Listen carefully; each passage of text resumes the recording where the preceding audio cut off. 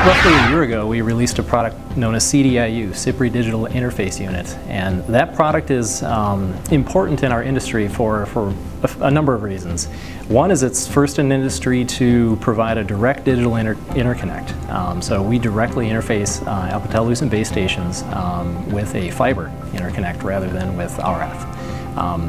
Really what that means to the customer, what's important to the customer is that they can minimize their head-end installs. When installing large DAS uh, uh, product installations in stadiums, um, there's a significant amount of floor space, cooling, electricity necessary for combining the, the DAS with the remote radio heads.